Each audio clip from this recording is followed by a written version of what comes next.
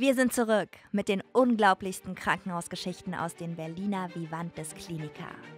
Mit dabei sind Ärztinnen und Ärzte, Pflegekräfte sowie spannende Menschen, die das erzählen, was du sonst nirgendwo hörst. Und irgendwann habe ich sie an der Grünberger Straße an so einem Geldautomaten liegen sehen. Ich so, scheiße, den Typen kennst du doch. Das ist nur ein, ein Bruchteil der Menschen, die ihre Wohnung verlieren. Echt krank ist in der deutschen Landschaft momentan Daten- und Gesundheitskompetenz. Es ist grundsätzlich nicht nur wichtig für Vivantus, sich mit der Vergangenheit zu beschäftigen, sondern für die gesamte Gesellschaft.